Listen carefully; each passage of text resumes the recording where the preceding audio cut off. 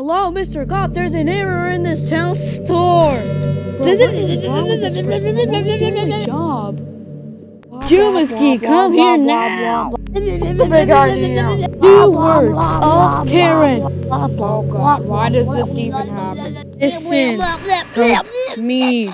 Cashier and the tall girl is under arrest. Oh Bob, we have to find the evidence first. Great, the popos are here. Sir, these two didn't do anything.